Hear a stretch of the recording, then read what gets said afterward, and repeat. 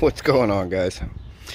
Okay, this is the 190, and it is now in the bike. Not 100% done.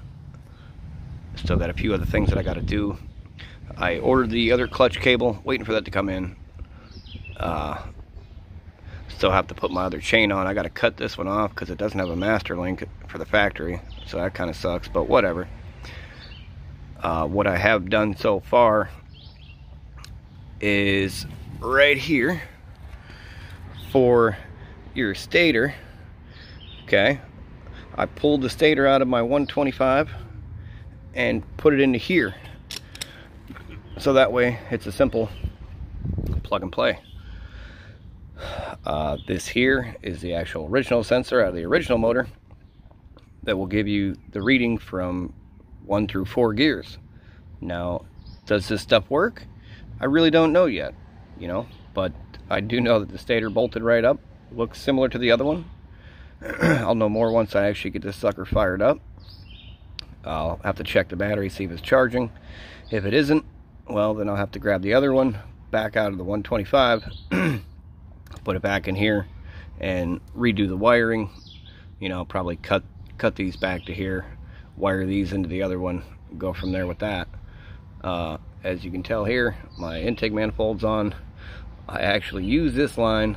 I had a different line for the other Mikuni the VM22 for the 125 it takes a 5 8 line for whatever reason. The flat slide takes a thinner line. Well I just grabbed this off of the, the crankcase vent tube and use that. The other thing with that is this 190 the crankcase vent tube. I just stuck a hose right there for now to see if it might be able to go down in but the original one was crimped over blocked off pinched will not vent. So that's a that's a no no bueno right there. You know you got it's got a vent. End of story on that. So I gotta see if I can figure out something with that. Oh let's see what else is there. Uh, yeah I do I am going to put the oil cooler on. I haven't gotten around to that just yet because I've been messing around with this chain. Uh, I pulled out my caliper and I was checking the thicknesses of the chains you know because the O-ring 428 chain is a lot thicker than this one. It's about uh, well we'll just say it's a lot thicker that's for sure. It might end up rubbing on the case back in there I don't know. Uh, if it does I'll have to determine if it's going to work or not you know because there are some places where it's able to rub a little and not really hurt anything except you know wear out that particular spot in the case. It won't you know, wear a hole or nothing like that. Uh, let's see what else is there. Oh boy. Yeah, the exhaust.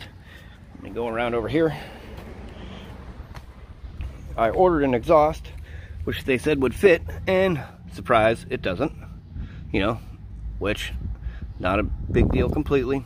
I'm going to take it over to my buddy who does some welding you know, I'm going to have to extend the neck of it to go up in here so it can come down and go under the starter. The starter's pretty big on these, you know, it hangs down really low.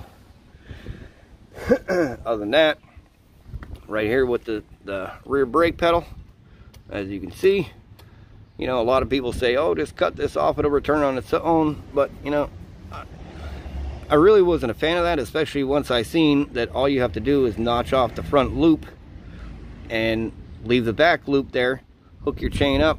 Now, yeah, it does rub a little bit on there, but that ain't nothing serious. The only thing you might get is maybe some paint missing, which not a big deal. At least you still got your return spring, not an issue. You know, now with the kickstart, obviously you can't use that. Rear set's in the way. I mean, you might be able to grind some of this out, but, you know, I'm not even going there with that. That's what I have an electric start for. Now, as far as the starter wire goes, the power wire, the 125 to the 190 is completely different, which not a big deal. You know, I just basically, this was ran down around here, so I just loosened it up, flipped it up to run this way, ran it up, and connected it to the old starter solenoid. You know, no need to use a new one for no reason. Uh, let's see what else was there so far. Obviously put the motor in, you know, which wasn't hard at all. Oh yeah, I do, obviously you can see the clutch. Now, the other clutch cable that you get is a lot longer. you know, as far as like cabling goes. But uh, it's hard to do this one hand right now. You know, that, that's about what you get right there. And if you push this forward, you know, yeah, I could probably connect it to it right now. But I'm afraid that once I get this back into position, that this cable here, the length overall, is too short in order to pull it where it's got to go. You know, so I just ordered a new cable and I'm waiting on that. I ordered it a while ago. It's just Amazon's pretty slow on the shipping thing right now, which whatever, not a big deal. Now my next mission here is the chain and the oil cooler. I haven't even brought the oil cooler out here just yet as I don't know exactly where I'm going to put it.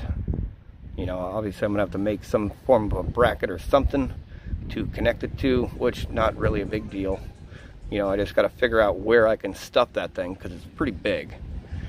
You know, it, it is big. And yeah, I mean, that's pretty much about it for, for now. I don't have any oil in it yet because I'm not ready to fire it up. I just figured out the gas line over there, which kind of worked out good. you know, didn't cost me any extra money. I already had the stuff to do it from the old motor. So, I mean, now, now it's just a matter of uh, seeing what we got, you know. I might throw some oil in here, fire it up. I, I don't know what I'm going to do just yet, you know, but I will be making a few more videos, keep everybody updated. And uh, this is where the oil cooler goes. You know, I know a lot of people wonder, but the bottom here is the out. Okay, the top is the return. Bottom is the out top is the return. Good to know that when you're using your oil cooler, if the oil cooler specifies in, in, a, in an outlet. You know, so your feet you're feeding from here, and when it returns, it's coming back to here. So that way everybody knows. Other than that, I this is a newer one, and they did somewhat implement a shift star fix on these. I don't know if you're familiar with the shift stars or not, but the original ones had a problem where the little roller would ramp out because of the ramp that they put on the actual shifter. The little, uh, I don't even know exactly, the shifter pawl. But what they did, they changed the shift star, which doesn't have as steep as a ramp, you know, ground in it. But I noticed when I was messing with it, you can still get it to pop off of the shift star completely. So I'm gonna have to take these rear sets loose, pull this cover off. Once I get the cover off, you're gonna have to get yourself the clutch basket tool too so you can disconnect the clutch basket and take that off to where you can get access and put the washers on and the longer bolt and all that stuff. You know, if anybody's interested, I got the sizes of everything you need. You know, I just don't have it handy right now and it isn't on the bag because I went to Value Home Center. So Value Home Center has everything pretty much that you're going to need for that. You know, real, real simple and easy to do. The other thing I had to do too, almost forgot, there were two ground wires. I can't even remember what they were connected to. My buddy was on this side taking stuff apart.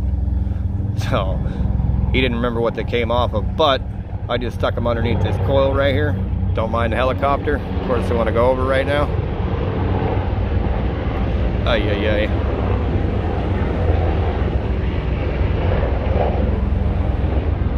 Okay, basically this was the best spot to put the ground wires. You know, they both reached pretty fairly easily and they weren't all bent and twisted and torn up. So I kind of like that the best. But if uh, you have any questions, feel free to comment. Thanks for watching.